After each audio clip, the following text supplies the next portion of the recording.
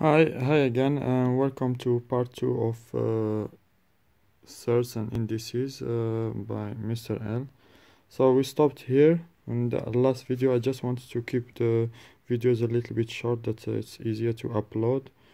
Uh, so if we were given that and they ask us to simplify it, so there are many ways how we can do it. Each time is depend on the numbers. You can find a little bit quicker ways but i'm just going to use the uh, the normal method that uh, most of the students would do.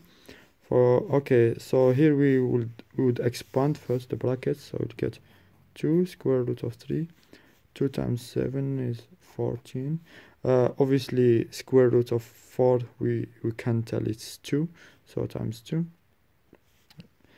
minus 3 we know that uh, we can simplify square root of 12 uh, we know it's uh, it's the same as uh, 2 square root of 3 but for now just we split it to square root of uh, 4 times 3 because 4 times 3 is the same as 12 plus 3 times 4 is 12 12 square root of 2 okay?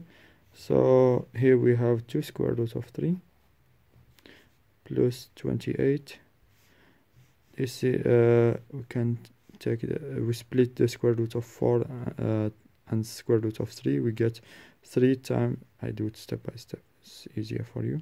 So 3 square root of 4 times square root of 3 please do not do the mistake. Please do not do the mistake and say it's the same as so we know that there is a negative there but don't say 3 square root of 4 square root of 3 let me do it in here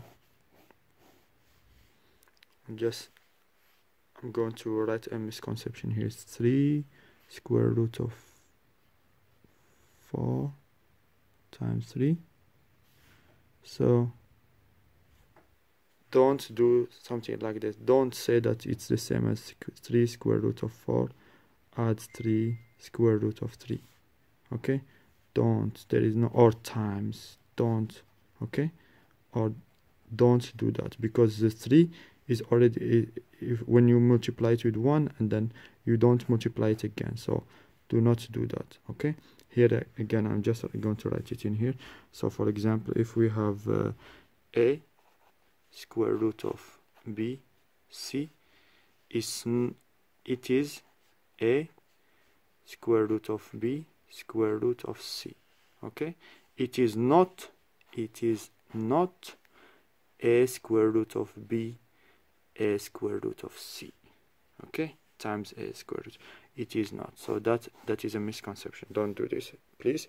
So here we have uh, uh, subtract 3 square root of 4 square root of 3 plus 12 square root of 2 i don't know if we get any good numbers from this or not but it's just the example that i've uh, just uh, got from my head. So 2 square root of 3 plus 28 uh, square root of 4 is 2 so minus 3 times or minus 3 times 2 is 6 so minus 6 square root of 3 plus 12 square root of 2 okay? Can we do anything with this? So here we have 2 square root of 3 here we have uh, um, negative 6 square root of 3 so we add like terms.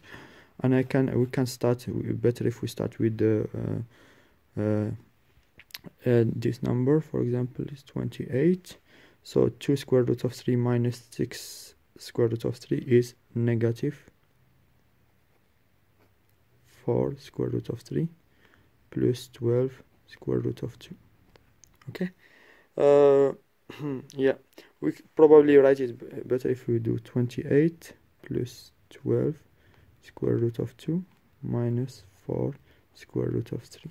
Okay and that's the final answer. We can we cannot simplify it. You can write it differently a little bit but we cannot simplify it. So uh, if they want us to uh, factorize it or sometimes they tell us write it in form of something. We know that the common factors uh, between 28 uh, 12 and 4 the highest common factor is 4 so you can say it's 4 times 7 plus 3 square root of 2 minus square root of 3 is the same okay. Thank you